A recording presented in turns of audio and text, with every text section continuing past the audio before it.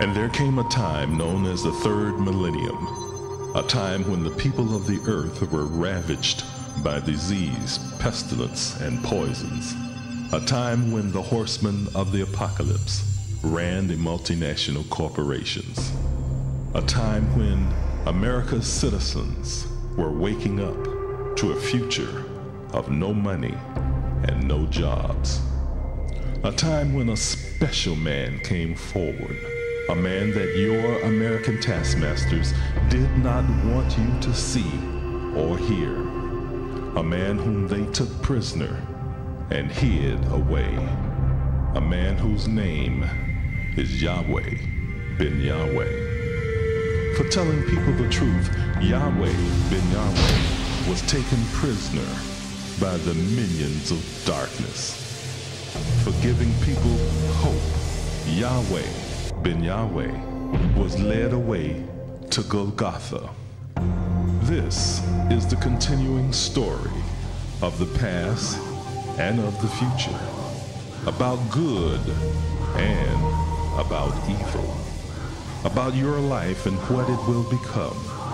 A story that tells why the so-called black man of America had to suffer for over 400 years. A story of what will happen to the so-called black man if he returns to the laws, statutes, judgments, and commandments of God Yuhewave. Olam shall, shall Yuhewave. The universe, of Yuhewave. Brought to you by the nation of Yuhewave. Working for you and your future. good or evil, life or death. This is your choice in this, the year 6002, the year of judgment. Shalom and welcome to the universe of Yahweh. My name is Josiah Israel, and I am your host. For over seven years now, we have been discussing some of the things the Bible said would occur in the day of judgment. We warned you that the weather was going to change and that the powerful forces of nature were going to bring terrible destruction upon America and the world, and that it was going to get worse and worse and worse. And it has. We alerted you that violence in the public schools was going to increase, and it has. We showed you in the scriptures that forewarned of wickedness in high places, and we are witnessing today gross misconduct and serious crimes being committed by some of our highest elected officials. What lies ahead for America and the world is nothing less than the proliferation of deadly diseases and plagues as foretold in the Bible. But there is hope. The Bible tells us that at the end the Messiah would be revealed, and at that time he would save the righteous from this impending destruction. That one, the Messiah, is Yahweh ben Yahweh. So we invite you to join us in the universe of Yahweh, featuring the commandments of Yahweh and the Messiah revealed. First, the commandments of Yahweh. For 6,000 years, we have been suffering at the hands of rulers who transgress the laws of Yud-Heh-Wav-Heh and teach all people throughout the earth to transgress the laws of Yud-Heh-Wav-Heh. In order to have peace, love, and harmony upon the earth, we must return to keeping the commandments, judgments, laws, and statutes of Yud-Heh-Wav-Heh. All of us have been taught that the commandments, judgments, laws, and statutes in the Old Testament Bible do not count today. In this series, we will show you that the commandments, judgments, laws, and statutes in the Old Testament Bible do count, and that if we govern our lives according to these commandments, judgments, laws, and statutes of God Yud-Heh-Wav-Heh, then we will have peace and goodwill upon the earth forever. We invite you to study along with us. However, in order to do so, you must have the following tools a King James Version of the Bible, several dictionaries, the New Strong's Exhaustive Concordance, a set of encyclopedias, Hebrew and Greek lexicons, a thesaurus, and a synonym finder. Shalom. My name is Ben Kayo Bethel Yisrael. We are discussing the first two commandments that Yahweh gave to man. Many people have been led to believe that the first commandments ever given to man were given to Moses. The first two commandments were given to Adam, which were to dress and to keep the Garden of Eden. To keep the Garden of Eden is what we have been discussing for quite some time now. One of the definitions of the word keep is watch. Let us go back and recapitulate some of our main points of view. Yahweh put Adam in the Garden of Eden to keep it. However, Adam disobeyed Yahweh and ate from the tree of the knowledge of good and evil. Because he did this, Yahweh sent Adam forth from the Garden of Eden. From diligent research of this word, watch, we learn that although Adam was sent forth from the Garden of Eden, the way he would be able to keep it would be through his progenitors, his descendants. We also learned that Yahweh commanded Adam to teach his descendants to keep an eye out for the future birth of a child to be born from among his, Adam's, descendants, who would make it possible for his seed to return or be restored to the Garden of Eden. We told you that this child is to be given the same charge as Adam, which is to protect life and property and to preserve the peace in the Garden of Eden. The office or duty of this child is that the establishment of the government of Yahweh shall be upon his shoulder, which means that it shall be upon this child to administer the affairs of the administrative division of or during the spiritual reign of Yahweh on the earth. Isaiah chapter 9, verse 6 says, Unto us a child is born, unto us a son is given. Matthew chapter 2, verse 6 identified us as thou, Bethlehem. We told you that Bethlehem and Bethlehem, Judah, are substitute words which describe a nation of people belonging to the tribe of Judah. We read in Genesis chapter 3, verses 17 and 19, that in the sweat of the tribe of Judah's face, they shall eat bread until they return to the Garden of Eden, the promised land. Realizing that every man has to eat bread, we pose the question How can we distinguish Adam's family from any other family who eats bread? The answer to this question is our pivotal point of discussion today. How can we distinguish Adam's family from any other family who, from the sweat of their face, eats bread? This is a very profound question. Why? Because the answer clearly reveals the true family of Adam, the tribe of Judah, from any other family on earth. You might ask, why is knowing Adam's true family significant? It is significant because it is through Adam's descendants or family that a child is born who is preordained to be governor over the government of Yahweh, and who shall also rule the children of Israel today.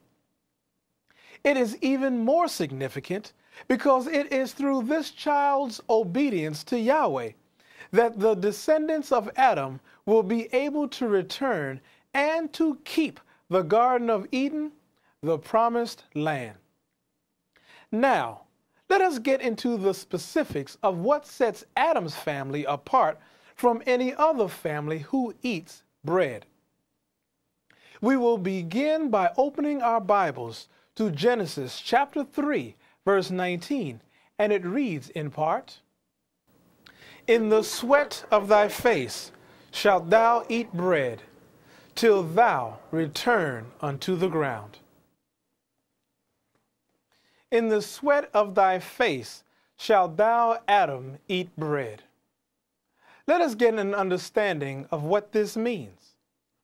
Documented in the American Heritage Student Dictionary, copyright 1998, on page 502, the word in is a preposition, and it means within the time of. It also means after. The is an adjective. On page 974, the is described as a definite article, and it is used before nouns or noun phrases that refer to specified persons or things. Stated in the Benziger Dictionary, copyright 1982, on page 470, phrase is defined as a group of words expressing a single thought. A phrase is not a complete sentence.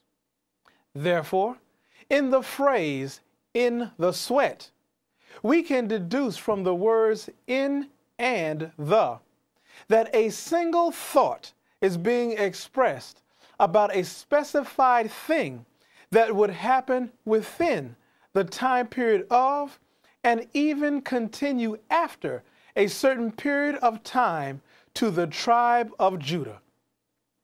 Question in relationship to the tribe of Judah, Adam's descendants, what is this single thought which is being expressed about a specified thing to occur within the time of or even after a certain time period? To answer this question, we must examine the noun which the adjective the describes. This specified thing is the noun sweat. The word sweat clearly distinguishes Adam's family from any other family who eats bread. Let us prove our point. What does sweat mean? According to the Random House Dictionary of the English Language, unabridged, copyright 1967, on page 1436, sweat means to suffer punishment, to force pressure on a person, to work hard, to employ workers at low wages for long hours. We can gather from these facts that the single thought which is being expressed in the phrase in the sweat is that within the time period of, and even after a certain time, the seed of Adam, more specifically, the tribe of Judah, would suffer punishment, and pressure would be forced upon Judah to work hard at low wages for long hours. There are some important points here that separate Adam's family from all the other families and they are suffer punishment and forced pressure. Now, let us give you some additional facts about the word sweat to further establish that which separates Adam's family from any other family who eats bread. On the authority of the Synonym Finder by J.I. Rodale, copyright 1978, on page 1203. Sweat is also equivalent to slave. On page 1120, slave means the same as to hold in bondage. referenced in the Cassell Concise Dictionary, copyright 1998, on page 1386, slave also means a person who is the property of and bound in obedience to another. In accordance with Webster's New Collegiate Dictionary, copyright 1961, on page 677, property typifies that to which a person has a legal title. On page 892, title means a descriptive name. And on page 100, bound means destined. Taking all of these facts into consideration, In the Sweat tells us that at some point in history, the family of Adam, more specifically the tribe of Judah, would be held in bondage as slaves and would be the property of and bound in obedience to another people. As bondmen and bondwomen, Judah would be compelled to also carry the legal descriptive names of another people, like Mr. Jackson, Mr. Jordan, and Mr. King, who would decide the destiny of Judah and to whom Judah would be made to obey as it is this day. This is affirmed in Deuteronomy chapter 29, verse 28, and it reads, And Yahweh rooted them out of their land in anger, and in wrath, and in great indignation, and cast them into another land, as it is this day. This day means as I speak. These are the specified things that are occurring this day, which clearly set Adam's family apart from any other family who eats bread. Genesis chapter 3, verse 19, in the sweat, sheds light on the fact that this treatment will continue until the family of Adam Judah is returned or restored to the Garden of Eden, the promised land. Next week, we will maintain our course of singling out the family of Adam from any other family who feeds on or eats bread. We will show you where the tribe of Judah is today, outside the Garden of Eden as we continue to discuss the word watch and its relationship to keep. I bear witness to you today that the Messiah, Yahweh ben Yahweh, is here. I bear witness to you today that the Mahdi is here.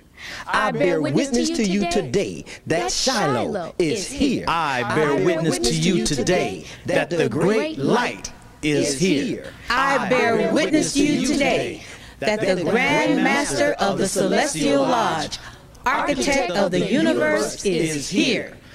I bear witness to you today that the Enlightened One is here. I bear witness to you today that the one all religions have been speaking of for almost 6,000 years is here. Thank you for listening and join us next week as we continue our discussion of the commandments of Yahweh.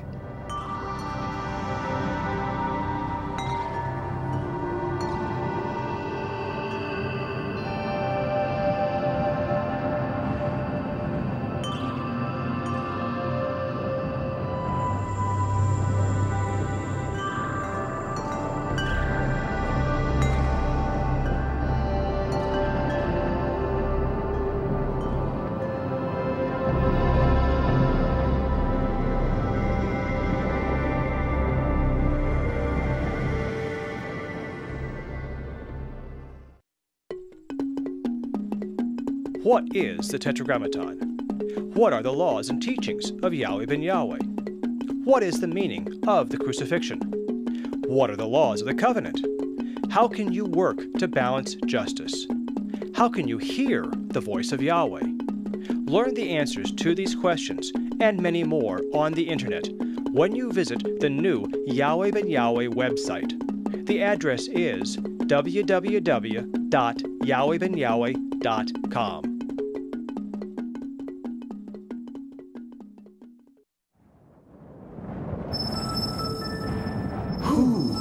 is worthy?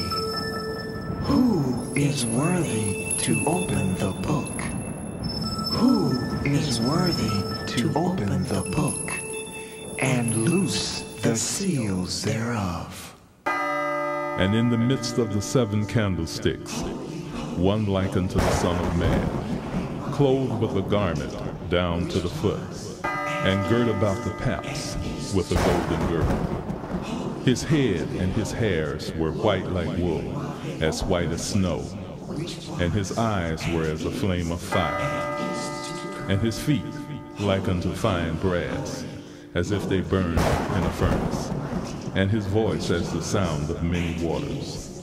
At the end of time of evil rule, the anointed one, the Messiah, shall appear.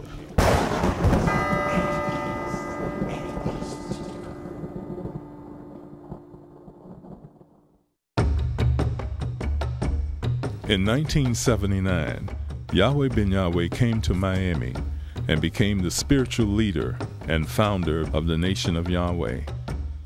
Although he took a vow of poverty, in seven years he guided the nation to amass a $250 million empire. Under his direction, the Nation of Yahweh has grown to encompass disciples, followers, and supporters in over 1,300 cities within the U.S. and 16 foreign countries. Yahweh Ben Yahweh is bringing about changes in the lives of individuals and is giving the world the keys to success in life, politically, economically, educationally, socially, and spiritually. Behold, any nation and kingdom that will not serve Yahweh ben Yahweh shall perish. Yes, those nations shall be utterly wasted. Isaiah chapter 60, verse 12. This means that Yahweh ben Yahweh shall put down or put an end to all rule and all authority and power. 1 Corinthians chapter 15 verse 24. This is the day that Yahweh ben Yahweh will be given dominion and glory, and a kingdom that all people, nations, and languages should serve him. His dominion is an everlasting dominion, which shall not pass away, and his kingdom that which shall not be destroyed. Daniel chapter 7, verse 14. Moreover, the kingdom and dominion, and the greatness of the kingdom under the whole heaven, shall be given to the people of the saints of the Most High, Yahweh, whose kingdom is an everlasting kingdom, and all dominions shall serve and obey him. Daniel chapter 7, verse 27. And Yahweh ben Yahweh shall be king over all the earth. In that day, shall there be one Yahweh, and his name one, as written in Zechariah chapter 14, verse 9. And he, Yahweh ben Yahweh, shall reign over the house of Jacob forever, and of his kingdom there shall be no end, according to Luke chapter 1, verse 33. Revelations chapter 11, verse 15 tells us that there were great voices heard in heaven, saying, The kingdoms of this world are become the kingdoms of Yahweh and of his Christ, Yahweh ben Yahweh, and he shall reign forever and ever. And even more, a voice came out of the throne of Yahweh, saying, Praise our God, Yahweh, all you, his servants and you that fear him, both small and great. And it was heard as it were the voice of a great multitude, and as the voice of many waters. and as the voice of mighty thunderings, saying, Hallelujah! For Yahweh, God omnipotent, reigns. Revelations chapter 19, verses 5 and 6.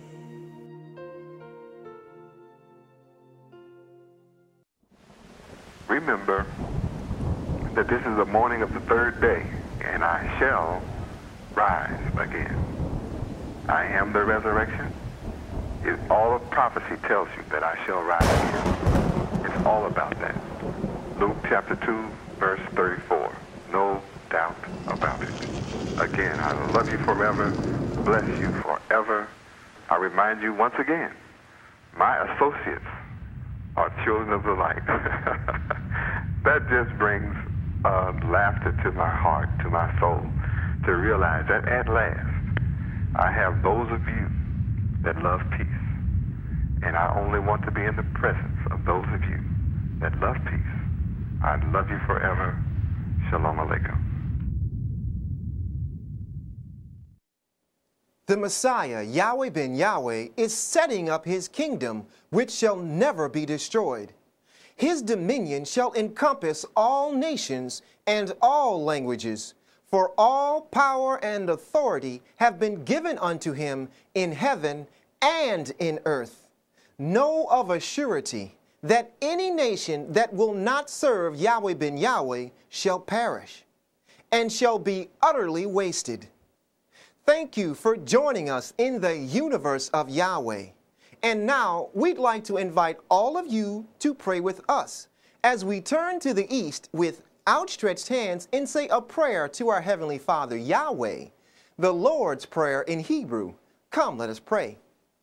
Tefillah, Ave Nu Shabbat Yikar Deshemeaka, Tavo Malkuteaka, Yase Razonka, Kivashemayim Kain Baaretz, Et Lekum Kukenu, Tain La Nu Hayom, Uslak La Nu, Al Kati Enu, Himo Shasol Kim, Gamanaknu, La Koteom La Nu, Veal Tefienu, Lade Nisayom, Kim Kal Senu, Min Hara, Kilaka, Hamumlaha, Veha Givera, Veha Tiferet, Leolame, Olamin Sila. We thank thee, O Yahweh, O living and eternal King, who has so mercifully restored our souls within us. Selah.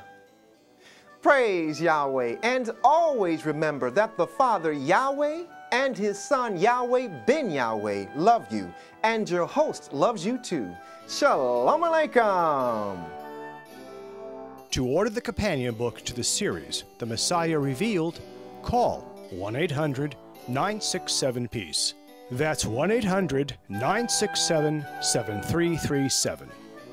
And when you call, ask about the special discount on The Persecution of Yahweh ben Yahweh, Volume 1. Videos of this program are available. When ordering, please refer to the program number on the screen. You can now access the divine mind of Yahweh ben Yahweh on the internet at the address on the screen.